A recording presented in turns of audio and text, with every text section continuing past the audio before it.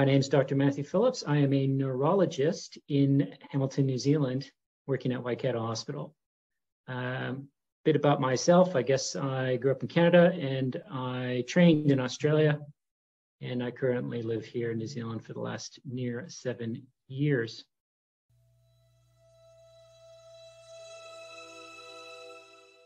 view of health has changed drastically over the last 10 years, I would say.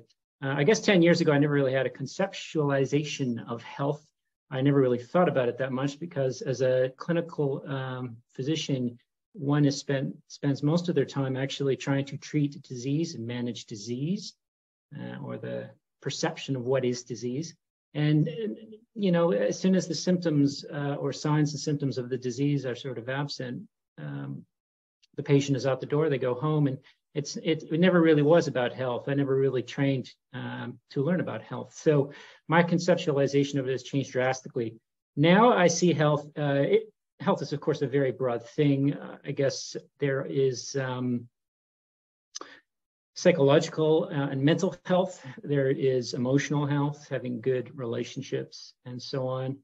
Um, there's healthy interactions in the world in general. For example, I think trying to be a good uh, this is aimed at men's health. So trying to be a good man and trying to uh, help other people and make the world a better place. That's a very important aspect of health. If you're not doing that, I would say no matter what all the indices are uh, you have are showing, you're not truly healthy. Um, but I guess underpinning all of those things uh, and what we usually think of as health is sort of physical and cognitive health. So, uh, you know, because we're off as doctors, we're often treating, you know, uh, all these weird disorders, and we're trying to um, you know, really we're, we're trying to uh, uh, aim at this target of, of physical and cognitive health. And that's the core of it. Without that, you can't do all those other things. And the core of that, in my opinion, is optimized mitochondria function. And the mitochondria are all the batteries in all our cells, almost all of our cells in our bodies. And uh, really, if you boil uh, it down to that, um, metabolic health, metabolism is the sum of all the chemical reactions in the body. Um, at the core of metabolism, in my opinion, really is the mitochondria. And so every single, uh, almost every uh, single uh, strategy I can think of for health aims at restoring mitochondria function and keeping them optimized. And if you do that, um, I think you're going to do uh, very well in terms of health. And I do define health very differently from fitness. They're not the same thing.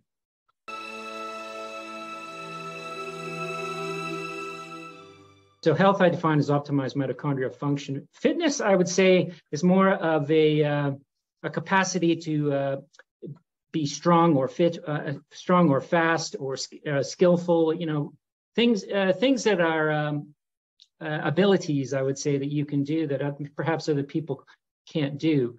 Uh, but it, fitness, although there is definitely overlap with health, I would say fitness is quite a different thing. There, you know, ultra athletes, for example, are extremely fit individuals, but uh, very uh, few of them, if any, are actually truly healthy.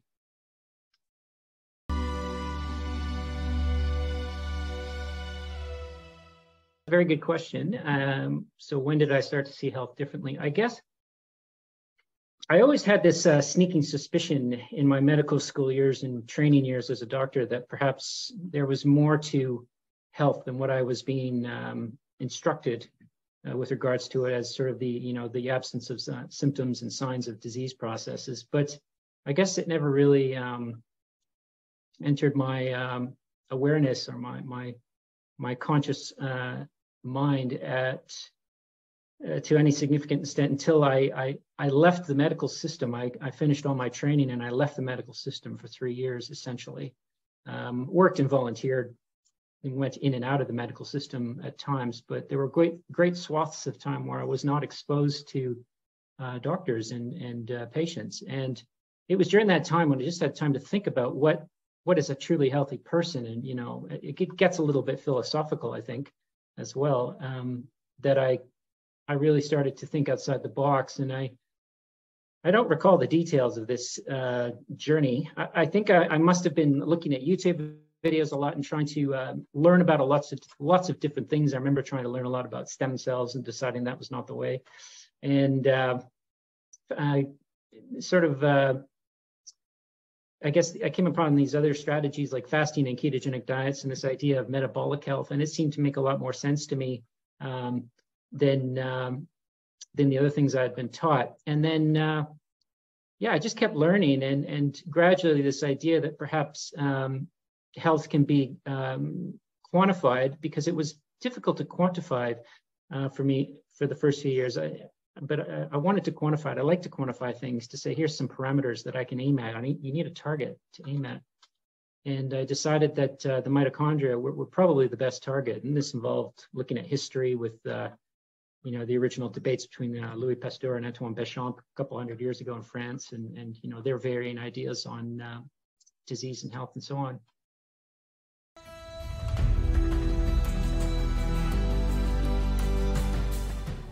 question that taking the time out uh, changed my entire perspective and, and how I practice, uh, you know, daily with my patients and, and also my view of life and, um, you know, what I, the, everything I do in my own life. It all changed with, with that, that single moment. That was pro- probably one of the greatest moments of my life when I decided to step out and uh, buy this you know, sort of one way ticket to Buenos Aires kind of thing. And, and um, I think it's almost a necessary step for a, certainly a young man or even a middle-aged man, if one hasn't done that before, because um, I, I, remember uh, listening to an interview by this uh, older guy named Doug Casey. Some of your viewers will know about Doug Casey. He's an, this uh, older libertarian fellow, and he was doing an interview, and, and he basically said something along the lines of, um, if one is finished high school or university, it's actually it's not a um, a bad thing to go traveling around the world and and and see the world. It's actually and it's actually a responsibility and, and almost a necessary thing. And that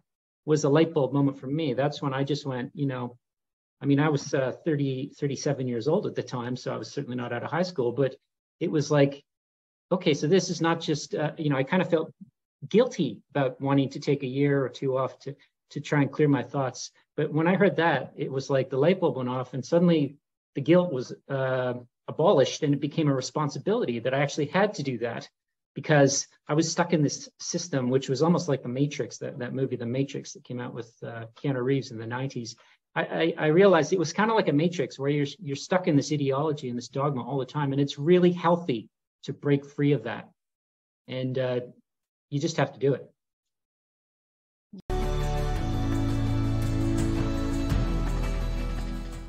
So I'm a clinical neurologist, so I see a lot of patients, uh, but I also do a lot of research. I'd say just as much, uh, if not more, and I do a lot of teaching.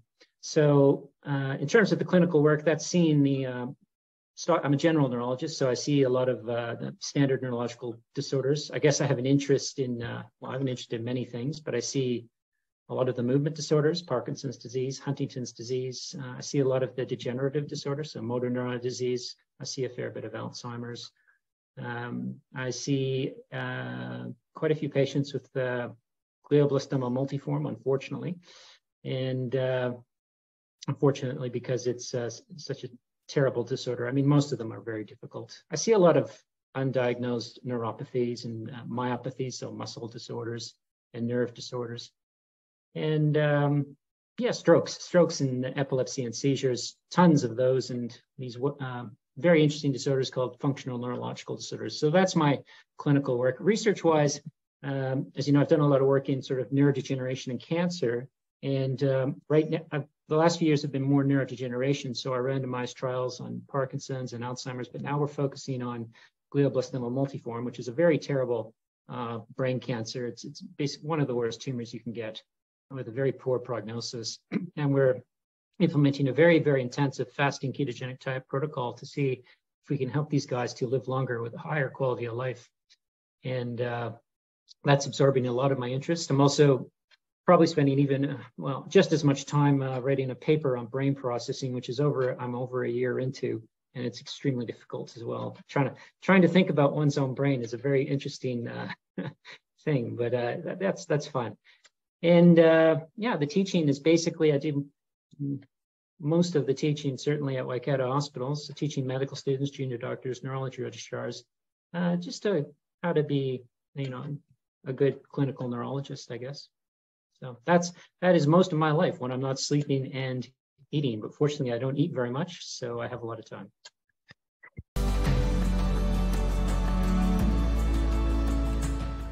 Me the most joy out of all those things. Gosh, if I feel like I've truly helped someone change the trajectory of their disorder, uh, that's got to be the greatest feeling. I mean, just uh, and that can include publishing the, the, the, trials, the studies, you know, which which often involve a patient who uh, or patients that that one did that with.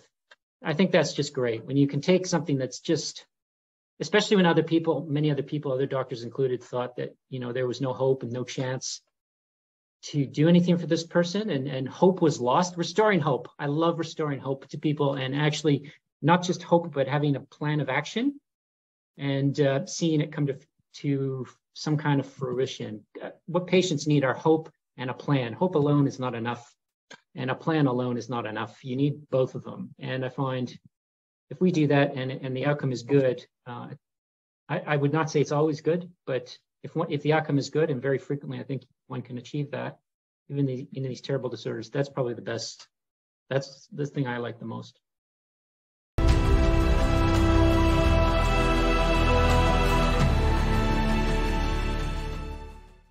Uh, that's a very good uh, question. So, my opinion is uh, yes, I think mitochondria dysfunction, abnormal mitochondria, uh, underpins and uh, may well be the main causative factor in the neurodegenerative disorders, cancer, atherosclerosis, and the metabolic syndrome, and basically most of the top 10 disorders that kill people in the West today. Now, um, that is a theory that is not a fact because it's difficult to um, unweave uh, correlation versus causation. We know that mitochondria are damaged in all of these disorders. They're heavily damaged in cancer. They're heavily damaged in Alzheimer's. They're heavily damaged in Parkinson's. They're damaged in atherosclerosis and so on, diabetes, you name it. Uh, however, is that a result of the disorder or are they the cause of the disorder? And I think uh, based on uh, what I've read and uh, what I've seen with patients and, and uh, uh, I guess a lot of it's, you know, there's no direct evidence. It's very hard to find that kind of direct cause and effect evidence uh, I, I, think the mitochondria are the main uh, determinants of health. That is to say, if one has healthy mitochondria, the chance of getting cancer is extremely low. The chance of getting Alzheimer's is extremely low. The chance of getting atherosclerosis, heart disease, so heart attacks, strokes, is extremely low. Um, I think uh, the more I do this, the more I think that's the case. And I certainly didn't start out with this research thinking that was the case. I, I just thought, you know, about the ketones and their advantages, their bioenergetic advantages. And I thought about lowering glucose being a good thing and insulin resistance and diabetes. But the deeper I dug, the more I thought about it, getting past those concepts, I I think mitochondrial dysfunction underlies all of those things: the insulin resistance, the Warburg, you know, the Warburg effect for cancer, and um, the, the, the gradual withering and degeneration of neurons in Alzheimer's, and even atherosclerotic plaques. I do think mitochondrial dysfunction underlies it all. And uh, I've, of course, written a paper about it a few months ago. And, you know, I may be wrong. I may be wrong. I'm open to that possibility. But I, I, I wouldn't have written a paper on that if I didn't think there was uh, quite a lot of evidence to back it up.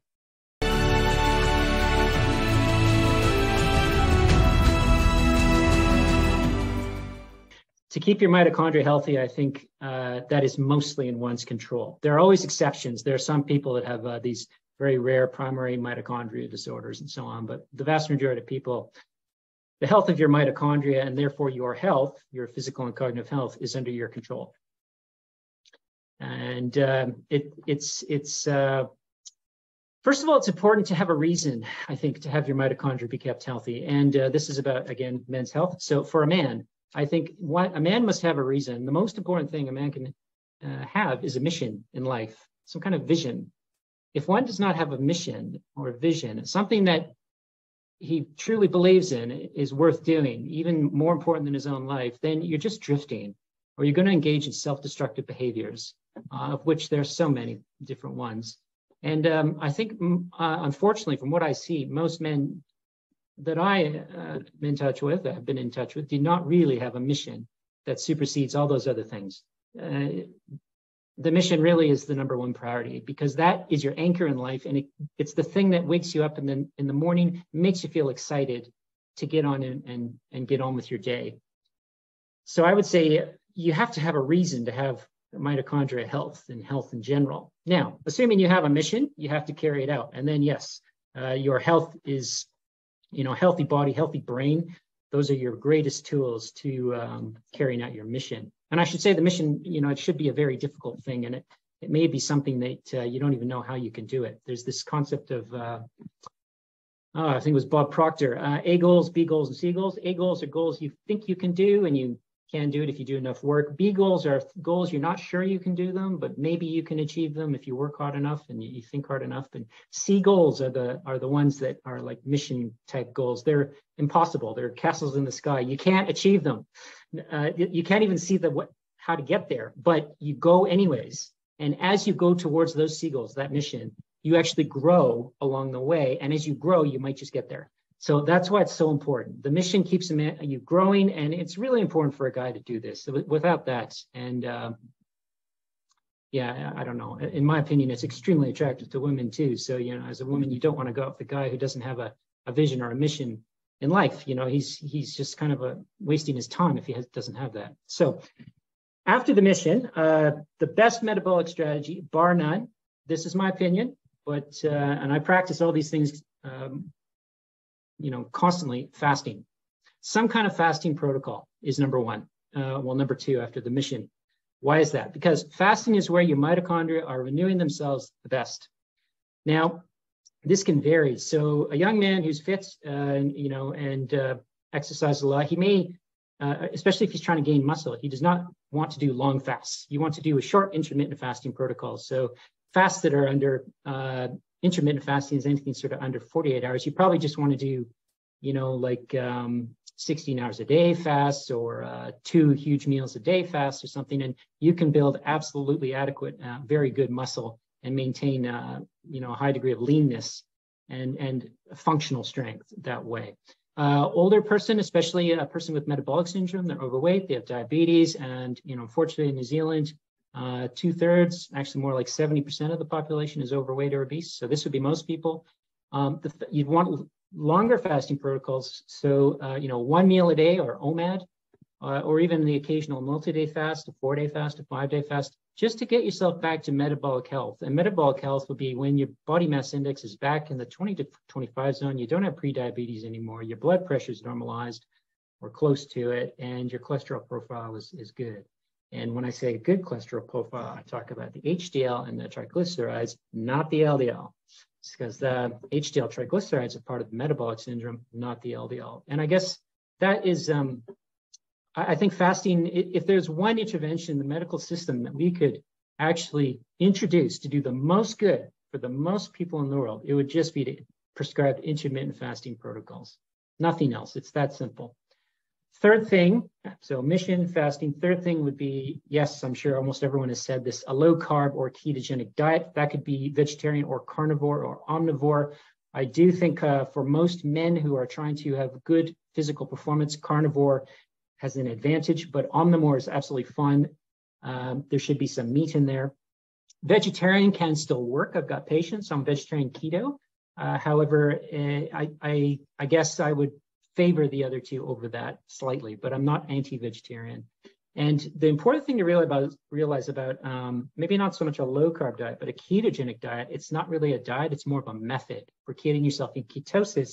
And again, that is a state where your mitochondria have uh, increased ability to repair themselves and renew themselves, and you get mitophagy, uh, you know, the birth of new mitochondria, um, mitogenesis, and mitophagy, the um, taking out of the old junky ones. So that's accentuated the most with the good fasting protocol, probably, but it's pretty good with the ketogenic diet.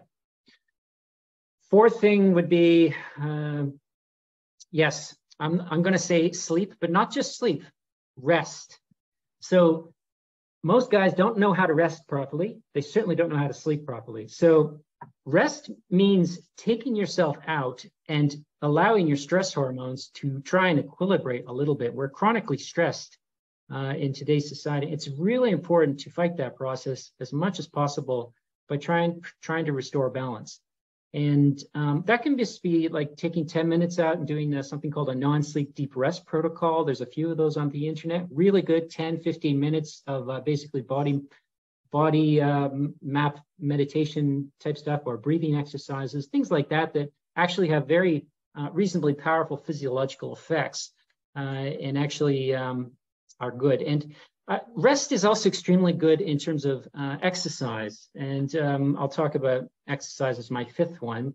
But rest, the rest periods is where your body actually improves. The exercise itself is damaging. It's the rest periods where you actually get stronger. So most uh, guys who are exercise fanatics exercise too much. And although they may be getting very fit with that approach, they're probably not, they may not be doing a very good uh, thing for their health. Uh, sleep, of course, you know, your non-REM and your REM sleep, crucial. Sleep is crucial. Why? Because got to know why things are, are important before you do the how. Sleep is where the brain uh, builds itself. The memories are built and modified to adjust themselves to the day. It allows you to, um, especially REM sleep, allows you to adjust yourself to the emotional turmoil of the day and encounter those stressful situations better the next day with uh, less sort of uh, emotional um, um, seesawing and uh, you know more stability. And it's really important for a guy to have his emotions in check throughout the day when he's dealing with difficult interactions. You know, you can't let your emotions guide your decisions. So your sleep is is really um, the foundation of that. If your sleep is poor, you're, you're going to have a very difficult time thinking properly and controlling your emotions. To do that, I think it's really critical to know how much sleep one needs and then give oneself that sleep amount of sleep time every night. So if you need nine hours, you need to give yourself nine hours of sleep time and don't don't cut into that with anything else. There's really nothing else. Um, fasting won't cut into it because you fast when you sleep, and you know your meal should be eaten. Uh, your keto or low carb meal should be eaten well before bedtime. And uh, so, you know, maybe you're up late working on your mission. That would be acceptable, I suppose, sometimes. But sleep, really giving yourself that sleep opportunity is important. Try not to use an alarm clock. Young guys need to sleep more in the morning. It's okay to sleep in. And uh, really, I think we do a disservice to uh, to young men by forcing, especially teenagers, to force them to get up really early because they need their um, morning sleep. That's where more of your REM sleep is. And uh, again, it, it, comes down to that uh, modifying the brain and, and building in emotional stability. So sleep and rest. And the fifth thing would be exercise. I would say though, for exercise, I bet you I have a different approach from uh, a lot of the other guys. I favor, I don't think if one is going for functional strength, okay, so if you're going for powerlifting or competition, this does not apply. But if you're going for functional strength, it also complements health. So optimize mitochondrial function you do not want to exercise for more than an hour a week, and ideally half an hour. So that this is uh, this is my uh, own practice, and I definitely see the best results of this. So I will do three uh, very intense uh, sessions a week. They will last anywhere from seven to ten minutes, so 25 minutes a week on average. And uh, they will be straight first thing in the morning. First of all, that's a fantastic antidepressant. If you start with a very high intense exercise regimen and you just do it no matter how you feel even if you don't feel like doing it you just do it uh, it's just fantastic for the rest of your day. So there's the mental benefits but also of course the physical ones. So first of all you're doing this uh, exercise which is really damaging. It releases a lot of free radicals into your system. And uh, those free radicals reactive oxygen species are damaging but you do it for five to 10 minutes, and then you have this huge rest period, because I'm not going to do the next one for 48 hours, and um, where you can repair and, and rest properly and sleep and hydrate and all these things. So um, that to me is really important, doing a very um, short but high intensity workout. I do not think weights are necessary either, except for maybe a pair of barbells. So uh, the exercises I definitely favor and almost exclusively do are body weight exercises. So you can do very intense, difficult exercises with body weight. You can do handstand push-ups. You can do L sits. You can do pistol squats. These are things that the vast majority of men are unable to do. And I mean the vast majority because they're very hard and it's far more effective than going to the gym, lifting weights improperly on your text, talking to people because there's other people at the gym wasting your time. You can do these things with no rest. Like when I do the, the you know, sort of seven to 10 minutes, there is no rest. There might be 15 second breaks between each session. Sometimes there's none.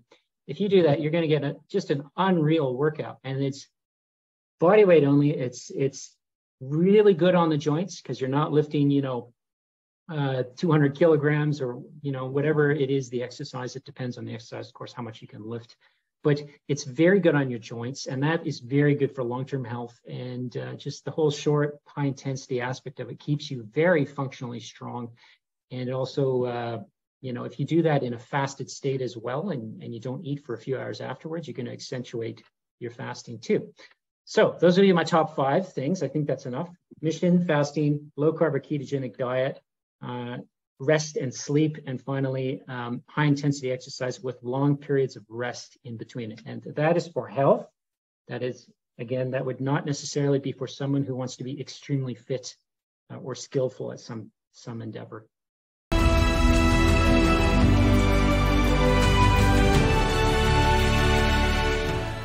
So, uh, yes, I did say I don't eat much. I should correct that. I don't eat frequently, but when I do eat, I eat, I eat one meal a day. I'm an OMAD guy, so I will eat a very big meal, like sort of 5,000 calorie meal, but it's only once a day, so I don't eat much time wise. And um, I, I, find that works for uh, very well for health, but also for time efficiency.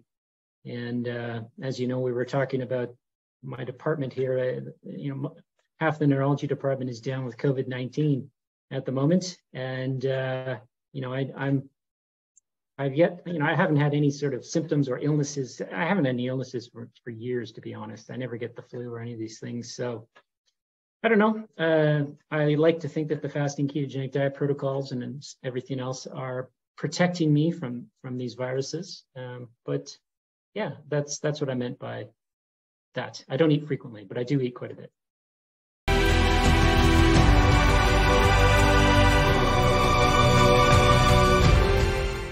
My last question here has been asked about uh, health in women. Now, that is an interesting because I do my my list of top five would vary to an extent with with women. So that was for men, not for women.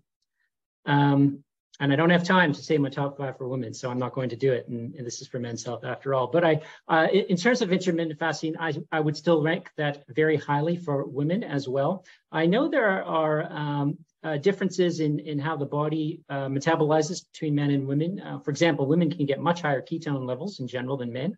They seem to have greater access to their body fat reserves. And um, uh, some people have questioned uh, whether it is even as useful for women uh, compared to men. Um, I would say that it is very useful for both women and men to have an intermittent fasting regimen, but your your goals might be slightly different. Uh, but I would say they're both very important. So men and women uh, can do, could do the fast together. A husband and wife, like a couple, could do the fasting together. I think that's ideal. And then uh, you eat once or twice a day. And when you do it, you just enjoy it, and it's it probably creates a more of a, a better social atmosphere, um, relationship atmosphere as well. But I, I do think it's just as important for women. Just they metabolize things a little differently.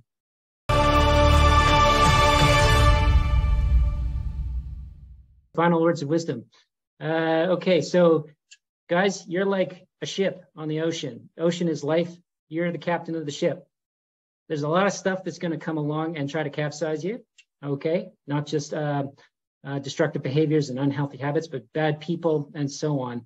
Sometimes the ocean's really calm and the sailing is smooth, but sometimes there's storms, and it's critical not to lose your head, not to get emotional, and just stay focused on your mission, whatever that is, health is just a mechanism to achieve your mission. So no matter what you think about health, um, just being the uh, healthiest guy on the planet is not enough. You've got to have a reason for that. So that I, I, guess that mission really is important. Why are you here on this planet? And that uh, will bring a whole host of benefits to your life.